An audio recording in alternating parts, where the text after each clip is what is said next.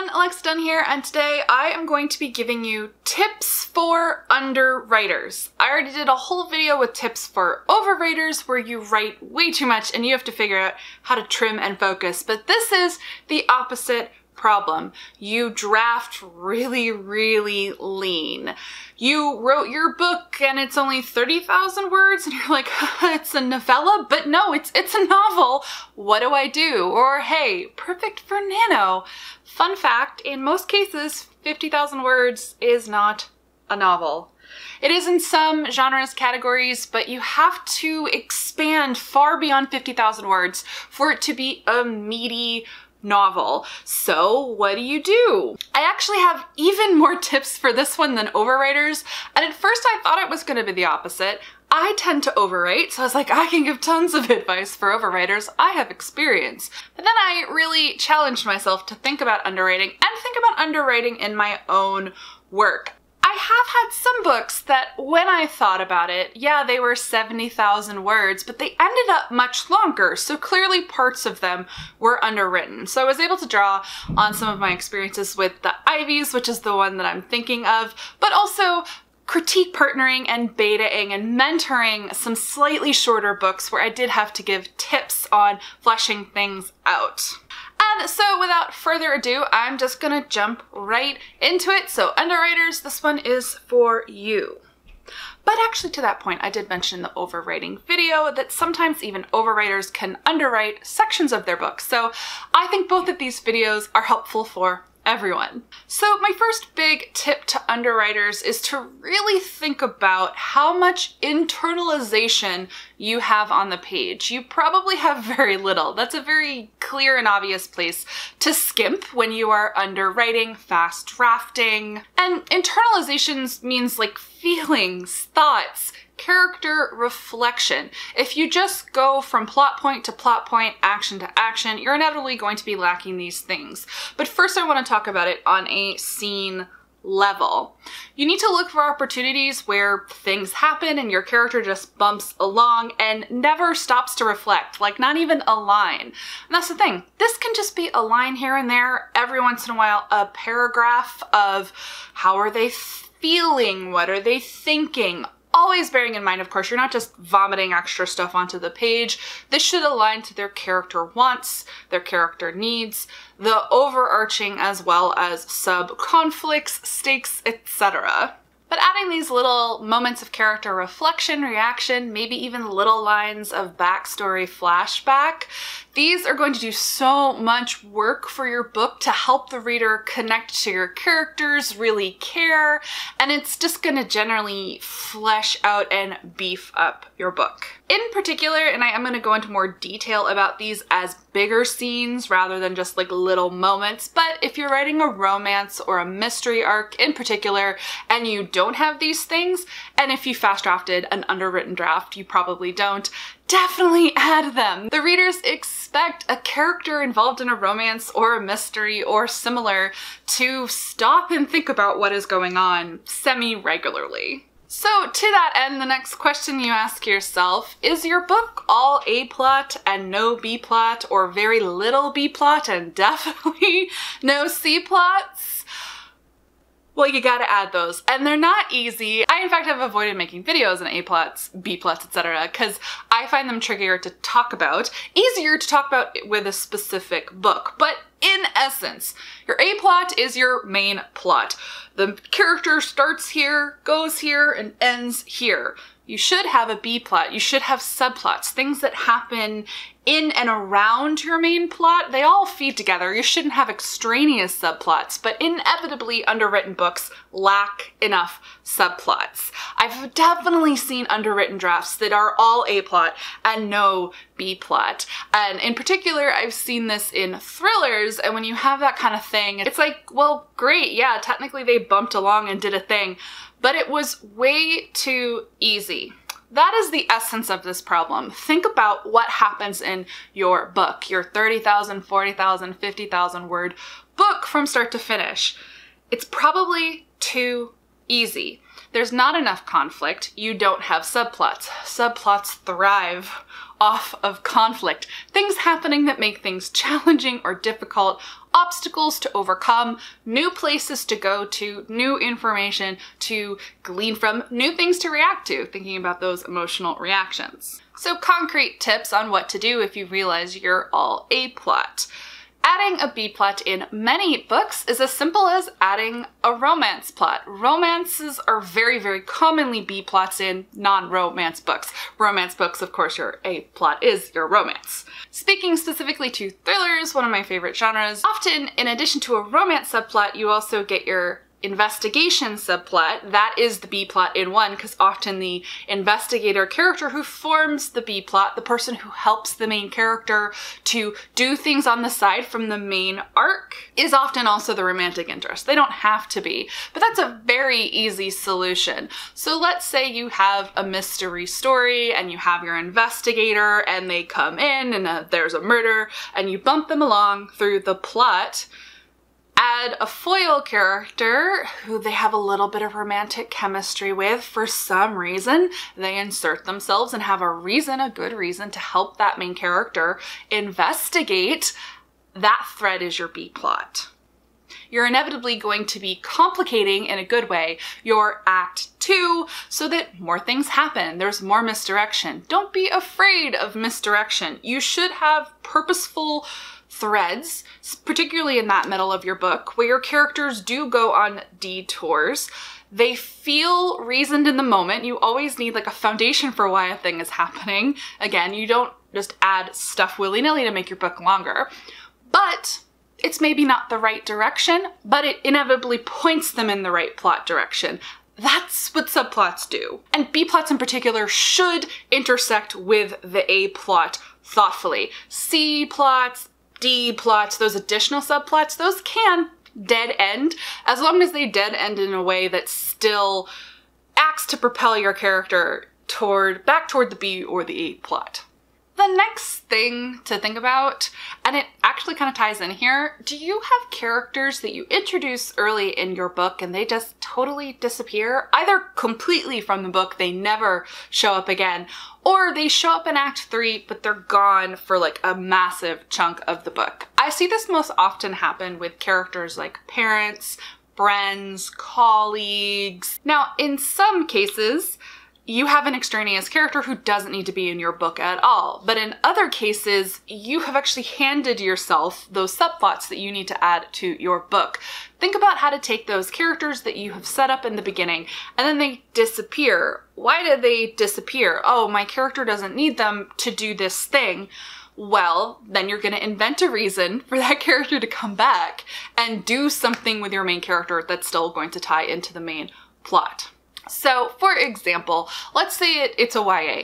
Oh, it doesn't have to be a YA, but let's say it's a parent character and you have them in the beginning for, for setup and establishing character and maybe some light conflict and stakes, but then they disappear you can add in a subplot. Give that parent a reason to come back in Act 2 once, twice, maybe more, and actively create issues for the main character. This can work across genre. In something like YA, it's going to be more obviously, let's say the parent shows up and is like, why are you sneaking out of the house? And they ground them, and it's a conflict that the character has to work around to get back to the main plot.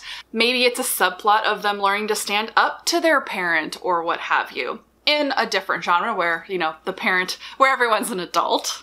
Maybe it's a subplot with uh, the parent is uh, just more and more forgetful. And suddenly you have a character who has to deal with a parent where something's wrong. Maybe they have dementia or something else. And maybe, of course, you come up with a clever plot twisty thing that it's not dementia and it, it somehow subverts expectations to tie into the main plot. It really could be anything to bring those side characters in to give them something to do in the book. Another really great example, friends. This happens a lot. You establish them in the beginning because normal humans have friends and so you want to have the character feel grounded in a social world. Then the friends disappear because they don't have to do with the main plot that you're writing. Again, find a reason to use them. I've seen this in thrillers or mysteries again that have mostly A plots and very few B plots use that friend character as the investigation sidekick. Give that friend character access to something or a piece of information. I mean, you could use this in sci-fi, you could use this in fantasy that is critical to the main plot, but it becomes a subplot pulling that character in and giving them a reason to interact with your character more. And you're gonna have to write all of that extra material. So let's say you have a mystery plot, whether it's in a mystery thriller, sci-fi, or a fantasy. Well, all of a sudden, the friend character you introduced but didn't really use, what if they work at the bank and all of a sudden you're like, aha, I could use this in my heist plot. Maybe I had had it part of my A plot where there's this convoluted way that they accomplish this thing I'd already written. Well, if I change it to the friend having that access, well, now I have to thread that friend better through the book so that when we get to there, they don't just show up out of nowhere to help the character solve a problem. You're adding word count to your book then. You are adding a subplot with a character who's going to be critical to a plot point that already existed. And this brings us back to that question you asked yourself. Is everything too easy? Do things happen too easily? Is it very convenient that everything in the A plot just happens? Again, you're going to use these sub-characters, whether they were introduced early and you figure out a way to use them, or brand new characters you can invent to create subplots and subplots that introduce conflict. Generally, underwritten books simply lack enough conflict. Usually. There can also be the case where your story is jam-packed full of conflict, but you're missing all of that in-between stuff, the reflective moment, so it's possible that that first tip solves all your problems and you just add word count by add adding a ton of reflection. But it's also possible that things are too easy, not enough happens, and that's why your book is so short. And generally, the solution to this is what we just talked about. It's taking characters who disappeared, creating new characters, and basically throwing them in the path of your main character to create problems. Or in some cases solve problems, but inevitably what's fun is by finding new solutions to something, you have a new variable, it'll often create new conflicts and issues. Like, for example, that friend helps with the bank heist, but let's say that friend gets caught and all of a sudden their life is ruined and you have a friend fight. I trust you authors to come up with much better examples than these ones I have on the fly. Part of things being too easy is you have to challenge yourself in terms of that main character and that A plot and really think about the choices you've made. And sometimes this can mean really rejigging something in your character, in your setup, in order to add more complication, more subplots, even if it means a bit of a change. So the example I can give you for this, for the Ivies, it was, so the draft was like 70,000 words, 74,000 words, which doesn't sound underwritten. But what I ultimately ended up doing in the final book is about 85,000 words, in part because of these changes. But I had had something in my setup, in my main character, where I had her go into the main thrust of the mystery with a lot of knowledge, a lot of very specific knowledge. In that particular plot, her friend is murdered and she hones right in on a reason and she's like, it must be this. Of course, there are lots of subversions of reversals that were in the book. But at my editor's suggestion, she was like, what if Olivia, your main character, knows a little less about this other thing that is a given in the first draft. If she knows less about that thing, she's gonna have to find out all of those things that you had her know originally and it added a whole subplot to the second act that really added texture. It helped the pacing and the tension because all of a sudden, instead of just one arc, there was a whole other one I had to layer on top of it. And the pacing goes this to the character finding out new things. There was all this new stuff for her to react to because instead of kind of knowing something and being a little kind of embittered to that thing that she knew, now I had to factor in shock, shame, guilt, anger. Think about what is too easy for your character in your underwritten draft. And if you change one little thing about their perspective, about their knowledge, their relationship with a particular character, all of a sudden you have new conflicts and subplots to layer into the story.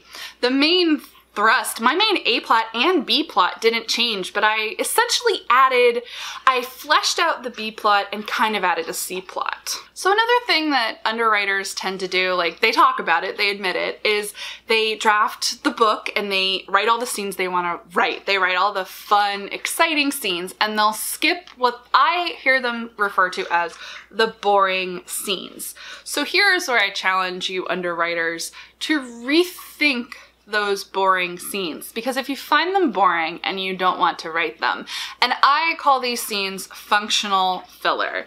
It feels more like filler. They are inevitably a little less exciting than the exciting scenes. They might be those reflective scenes, those emotional breathing moment scenes they're less exciting. So it is more fun to write an argument than it is to write the reflection after the argument or the dark moment after someone dies. But your book isn't complete without that. And that often is what is missing in an underwritten draft that is all plot, plot, plot, plot, plot, action, exciting, fun scenes. So first, you have to write those scenes.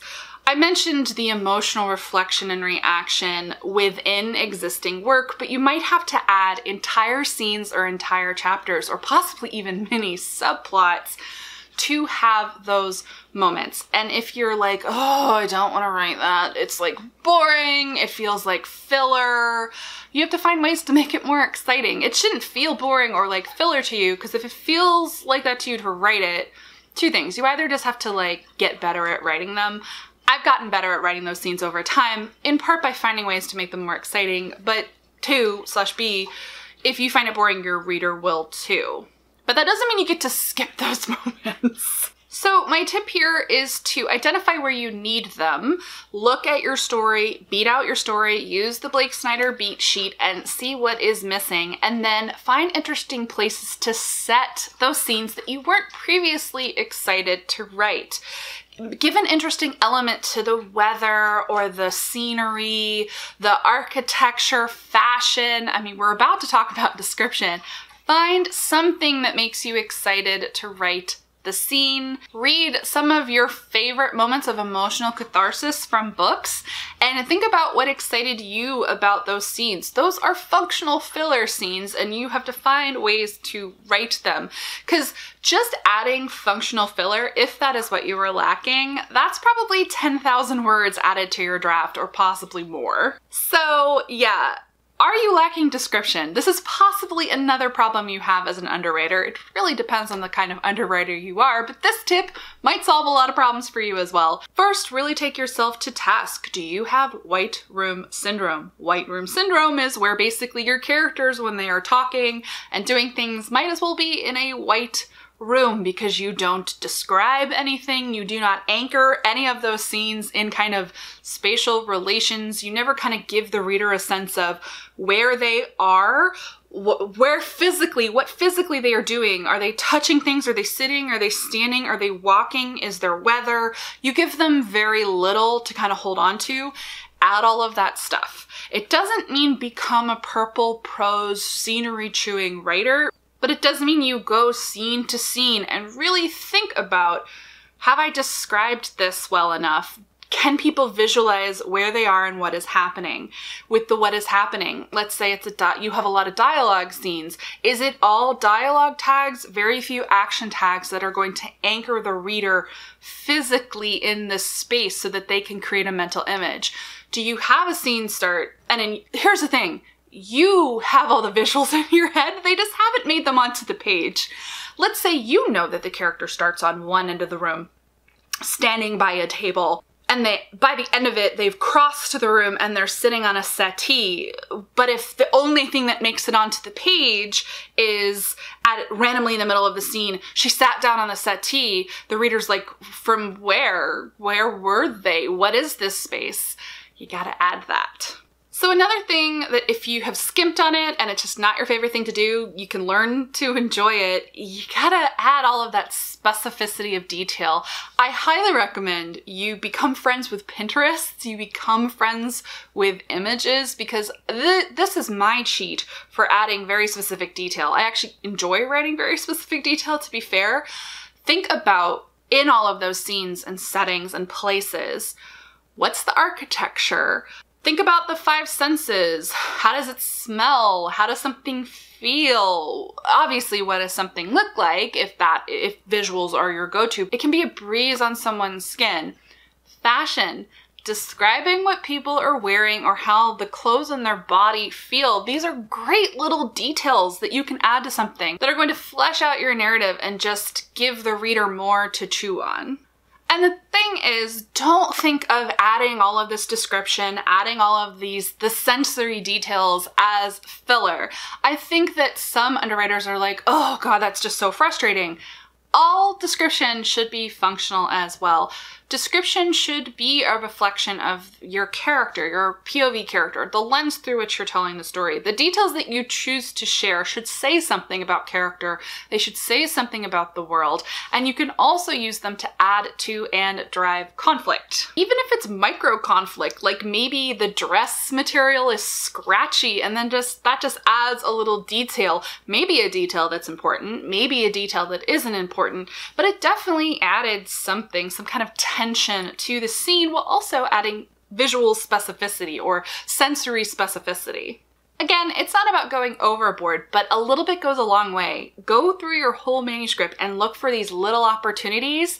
And even if you're only adding 5,000 words across a 50,000 word manuscript, if you're also doing this alongside all that other stuff, next thing you know, you have a novel. So next I am going to just pepper you with questions slash suggestions for things that possibly might be your problem as an underwriter going basically structurally through a novel. So first, the beginning. Are you starting in the right place? Have you started right on action? Have you thrown the reader straight into the inciting incident? Well, maybe you need to add a little bit of buildup. It's okay to have a bit of buildup to the exciting thing that happens in the book. The beginning of the book should essentially establish the status quo of your world, of your character, the way things are, also what that character wants, so that when you throw in that thing, that crazy thing, that inciting incident, the thing that makes things change, the reader has enough to grasp onto to care, but also so that they kind of know the basics so that as you move through the book, you're not dragging your pacing in other parts of the book by bringing up info dumping or backstory.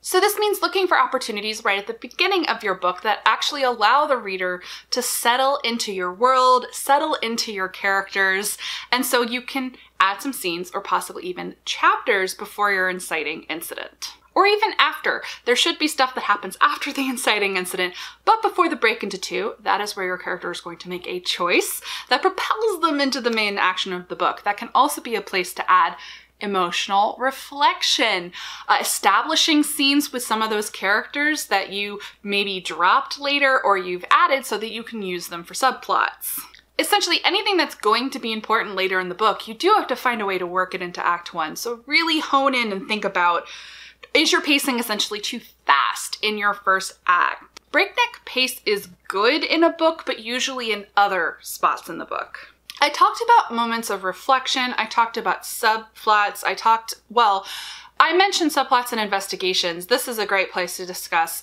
red herrings and reversals. These are momentary setbacks. These are things that, are going to happen in your act two, starts and stops, where a promising direction happens and then it's like, oh no, that is not the right thing.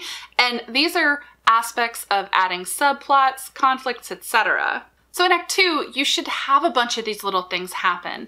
It shouldn't be too easy to go from the break into 2 to your midpoint. So that's going to be something big that shifts in the middle of the book.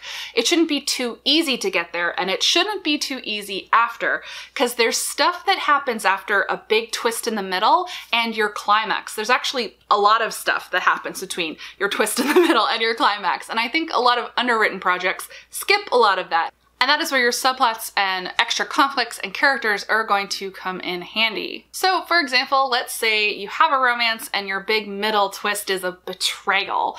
It shouldn't go straight from the betrayal. Maybe your character reflects a tiny bit, but then there's a climactic escalation and a happily ever after. You skipped a lot of stuff. You need subplots. You need other people who are meddling in things. You need other things for your character to focus on as they barrel toward that break into three and then the climax. I know a lot of this structure stuff is like, what? So I will link below to some videos where I talk about structure.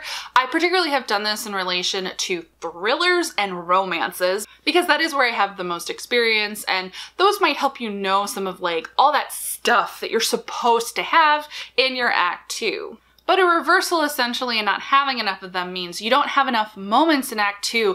It's basically building tension. It comes to a point and then it recedes and then you build tension again. There should be lots of those kinds of exciting stops and starts. Readers want those things. They don't want it to be too easy. But it also shouldn't be, by the way, maybe you have just like awful thing, awful thing, awful thing, because you can't have too much conflict, so to speak. That's where you're missing those reflective moments or like little moments of win. After something, you have a setback, you should have some kind of moment of triumph, reversals. You reverse kind of the mood and the feeling. So just essentially make sure you have enough of a push and pull, an emotional tug going through your act two. Enough things need to happen. So I already mentioned, like, do you jump right from your midpoint to your climax? Consider that because there's a major beat that has to, well, there's a lot of beats, but there's one major beat that has to come between that. And this might mean you, an underwriter, need to study story structure a bit. It's called the break break into three. So there is going to be that kind of moment that again is going to propel the main character to make some kind of choice or do something that inevitably propels them toward the climax. So you need to make sure that you have that moment and very often it's actually the work of the subplots that is going to create that. Most often it is the B plot. What I've seen in some underwritten books, the ones that are all A plot and not enough B plot, is technically that moment exists, but it's not supported enough. It feels too easy. And thus, basically, everything happens too fast and the climax is going to feel unearned. Speaking of the climax, after the climax comes the finale, and I have harped on this in many, many videos. Many people underwrite this section of the book. You can also tragically overwrite it. Endings are very, very hard, but this is an emotional reflection moment. Really look at your finale, your climax going into your finale. Have you written a scene or a chapter, a moment? Heck, sometimes it's just a couple of meaty paragraphs where your character breathes they let out the breath they didn't know they were holding. The reader needs this. This is actually for the reader, but you do it through the character. You have to have that moment, that beat, that scene, that chapter to let out a breath, a reflecting moment. You're tying up loose ends. And then you can have your beautiful, sunny, wonderful finale scene. But I very often find that this moment, which I call the denouement, is missing in underwritten manuscripts, in rushed endings. So my last tip, same as it was for the overwriters, you can't do this all by yourself. Give your book to someone else. Now my overwriters were going to ask their critique partners to tell them when they were bored. Now, it's possible that same question can help you as an underwriter. It's possible you've chewed the scenery in some places and don't have enough of something else, but more likely, the questions that are going to help you when you're getting feedback from other people on your underwritten project. You need to ask them where things feel rushed, where they were confused about character emotions, like how did the character go from here to here? You're missing emotional beats or kind of logical support. Really, anything where they tell you uh, a relationship felt too easy, insta love, uh, just a romance happening too easily, a mystery solved too easily, ask them if, if they guess the twist. Any book that has any kind of mystery thread, ask them those questions. Ask them to even check in with you as they're reading to give you their reactions as they're reading, what they're feeling, what they're thinking, their guesses for what's happening. If any of that's too easy, regardless of what your book is, romance, fantasy, sci-fi, etc., if they are telling you, oh, I bet this is what's gonna happen, and they are bang on correct, your book is too easy, doesn't have enough conflict. Also ask them what characters uh, did they notice disappeared, what characters did they like but they felt like they didn't get enough from. That can give you really good clues of like who you were underutilizing. Maybe you set them up really, really well, but then they disappear. I generally, with critique partners, like to ask them to give me questions like any question they had while reading, I want it. This is gonna help you whether you are an overwriter or an underwriter, but especially for an underwriter, this can help show you what is missing. Because I think something that happens with underwriting, whether you are an underwriter or an overwriter, because you can underwrite parts of your manuscript either way, we take for granted details and things because we hold in our heads everything that's going on, everything about the characters. It's very obvious to us. And we can skip putting that on the page because we're so excited by the story, because we want to get it done. Maybe it's intentional that you're dirty drafting and underwriting. Maybe it's unintentional that you skipped over a, a whole backstory, for example, perhaps. And so a character's motivations just don't make sense. But you can use critique partners to kind of zero in on what is missing, and then it's your job to add that stuff to the story. And another thing that's come up in some of my other videos, and I'll link down below to an entire video on it, Narration versus dramatization can also come up a ton in underwriting. It's possible you're going a little heavy on narration, which is when you kind of matter-of-factly say what happens to move the story along, but you don't have enough dramatization. Overwriters can of course have the opposite problem. Maybe you just have like a quick narrated line and there's an opportunity there to have an entire dialogue scene to kind of add richness and conflict to something. Is it too easy that they go from point A to point B with nothing in between? You can look for opportunities to basically add scenes and chapters where previously you maybe had like a couple of lines to move the story along. Definitely look for those opportunities and even just on a micro level because you just you literally need to add more to the book. Maybe it's a line they kissed describe the kiss, what led up to it, how it felt in it. I mean, kissing's awkward to write, but like think about character emotions. Really, I think it all comes back to character, POV, and lensing. Inevitably, if your book is underwritten, you probably don't have enough of the character, of their observations, of their feelings, really the lens through which you are telling the story. It should feel like their story, they should feel fleshed out as a character, and all the characters around them should feel that way as well. And that includes making sure that there is enough conflict and stakes to what is going on, that the reader feels the push and the pull. Always think about the emotional reading experience. Books that are essentially too quickly paced, which is often the thing with underwritten work, you don't get the emotional experience of reading that you want. There isn't enough tension because there isn't enough push and pull and in between. I hope this helped if you are an underwriter. I hope I sparked an idea, something that you can look at, something that you can try. And definitely check out my overwriters video because it's possible you're overwriting some sections but underwriting others and vice versa. I hope there are overwriters watching this as well. These are lots of different solutions to different problems that you can either have overall with a manuscript or kind of on a micro level in bits of your manuscript. Let me know down below in the comments if you have any questions. If you are an underwriter or you're very familiar with helping underwriters, I would love to hear some of your best tips and tricks for tackling underwriting. And give this video a thumbs up if you like and I will make more kind of instructional discussion style videos about craft. And if you're not already subscribed to the channel, go ahead and do that. I post new videos two to three times a week. As always, guys, thank you so much for watching and happy writing.